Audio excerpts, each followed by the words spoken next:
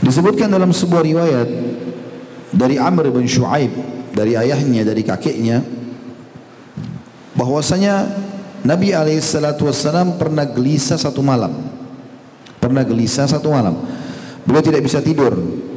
Maka salah satu istrinya yang kebetulan Nabi SAW menginap di rumahnya pada malam itu menanyakan kepada Nabi SAW ada apa dengan anda ya Rasulullah anda gelisah tidak seperti biasanya nih biasanya tidak seperti ini bisa tidur. Sekarang kok nggak bisa nih maka Nabi SAW menjawab mengatakan inni kuntu asabtu tamratan tahta jambi faakal tuha wa kana indana min tamri sadaqa fa an takuna minhu. Aku tadi sebelum tidur naik di ranjang ini sempat mendapatkan sebutir kurma di sampingku. Maksudnya di sebelah ranjang di sebelah di sebelah ranjang.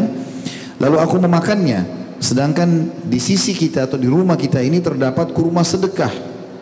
Dan Nabi SAW termasuk tidak boleh memakan sedekah. Beliau menerima hadiah tapi tidak makan sedekah.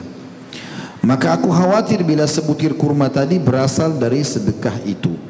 Hadis ini riwayat Imam Ahmad dengan sanad sahih. Ulama menanggapi mengatakan betapa mulianya penjagaan terhadap sumber makanan yang halal oleh Nabi wassalam. Beliau sempat ragu saja ya, bahwasanya itu adalah kurma, takutnya kurma yang sedekah. Tidak boleh Allah atau Allah tidak izinkan beliau memakannya lalu beliau makan. Beliau pikir tadinya kurma istrinya atau makanan di rumahnya tapi karena di rumah ternyata ada juga sedekah titipan orang, beliau khawatir itu adalah dari kurma sedekah. Padahal ada di dekat ranjangnya, gitu kan. Maka beliau pun sudah cukup untuk gelisah.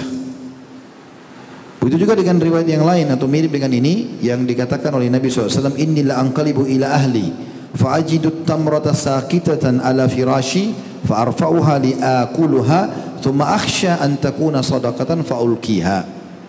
Aku pulang kepada keluargaku lalu aku mendapati sebutir kurma tergeletak di atas tempat tidurku. Lalu aku mengangkatnya untuk memakannya. Kemudian aku khawatir bila dia adalah sedekah maka aku menaruhnya kembali hadis riwayat Bukhari Muslim jadi riwayat kedua ini merincikan riwayat yang pertama artinya Nabi SAW tidak sempat memakannya kalau dalam riwayat yang kedua Beliau begitu mengangkat mau masuk ke mulutnya, teringat ternyata di rumah ada sedekah, ada kurma sedekah depan orang, maka beliau tidak jadi memakannya lalu melemparnya atau membuang, membuangnya kembali atau meletakkan kembali.